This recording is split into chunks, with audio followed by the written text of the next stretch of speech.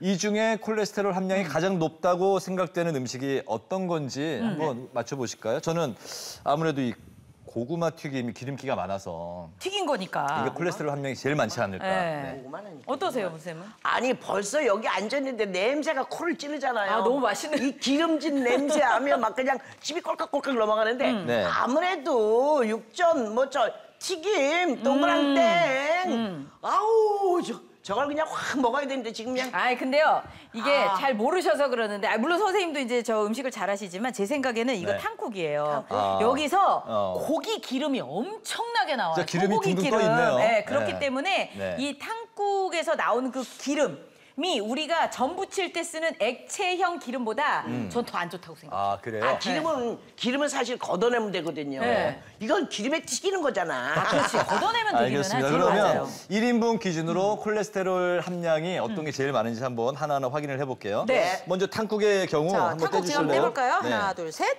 콜레스테롤 함량이 30.12. 30.12. 그 다음으로 또 오곡밥은 오곡밥은? 얼마일까요? 자, 이거는 제로입니다. 0.00. 제로 아 밥은 없네요. 그냥 네, 콜레 밥은 기름이. 없어요. 예. 콜레스테롤이 전혀 없고. 예. 고구마 튀김은 고구마 얼마일까요? 튀김은? 자, 20.84.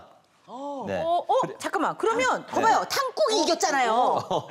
일단 고구마보다 탕국이 더 많다니까요. 2분단에서 그렇고 예. 1분단 일 분단 남아 있으니까 내려가 볼까요? 예, 한번 네. 보죠. 제가 제가 산적 자, 네. 제가 자, 산적은 또 어떨지 열어볼까요? 산적 산적 134.83. 세 자리 확 올랐어, 확 올랐어. 확 올랐습니다. 내가 좋아하는 거라 그랬잖아. 그리고 그, 동태전. 선배님 좀 띄워주세요. 예, 동태전. 전은 어떻게 될지. 네. 178.7. 야, 전이 높긴 높네요. 178.7로 더 그럼요, 높아졌는데. 높다니까. 야 그럼 전인가 보다. 전이지 전이라니까. 그래도 일단 하나 남았으니까 확인해 볼까요? 오징어? 오징어. 저거는 멀쩡한 그냥 마른 건데. 마른 오징어 짠. 371mg으로 진짜요? 어, 콜레스테롤 함량이 이 중에서 가장 월등히 높았어요. 네. 이거는 말이 아니고 헉, 헉이에요. 헉이네요, 진짜. 아니 어떻게 오징어는 이거 평소에 그냥 우리가 즐겨 먹는 거야 오징어 땅콩. 네. 근데 저게 시, 지금 6등간에 야. 저기 어머 371. 아니 370 이게 말이 안 나오네. 이면은 네. 야 이거 근데 야. 잠깐만요 선생님 그러면은 이게 지금 수치가 이렇게 나왔는데 음. 이게 콜레스테롤이 어느 정도여야 아 난 이건 좀 덜 먹어야 되겠다 이거 넘기면 안 된다 이거 어떻게 어떻게 조절해야 그 되나요? 기준이 있나요? 네, 기준이 있습니다. 이걸 참고하시면 좋을 것 같은데요. 세계 보건기구가 권장하는 콜레스테롤의 하루 최대 섭취량은 300mg 이하예요. 어, 이제 뭐 우리가 탕국에 산적에다가 동태전에 고구마 튀김, 마른 오징어까지 이걸 다 한 상에 놓고 먹는다고 하면 하루 최대 섭취 권장량인 300mg을 훌쩍 뛰어넘는 콜레스테롤을 함께 와. 다 섭취하시는 거예요. 아, 출 수 있는지 한번 보겠습니다. LDL 콜레스테롤을 낮추려면 짠 트랜스 지방, 포화 지방 섭취를 줄이라고 했는데요. 기름진 음식이 많이 있는 그런 음식을 줄이는 게 아니라 트랜스 지방하고 포화 지방 섭취를 줄이라고 돼 있네요. 네, 보셨죠? 이제 앞서 살펴본 것처럼 콜레스테롤 함량이 이제 물론 지나치게 콜레스테롤이 많다 이런 음식들은 당연히 조심하는 것이 좋죠.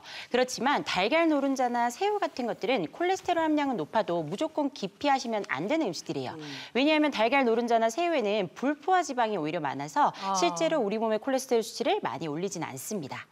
오히려 이제 LDL 콜레스테롤을 높이는 그런 나쁜 것들은 마가린이나 커피 프림, 뭐 갈비, 삼겹살 이런 것들에 이제 많은 포화 지방 그리고 가장 안 좋은 것이 트랜스 지방이에요. 아. 이제 과자나 감자튀김, 팝콘 좋아하시죠? 그런 네. 것들에 이제 트랜스 지방이 많이 들어 있는데 이 트랜스 지방은 특징적으로 LDL도 높이고 동시에 HDL 콜레스테롤을 떨어뜨리기 때문에 되도록 섭취하지 않으시는 것이 좋아요. 양쪽으로 도움이 안 되는 거네.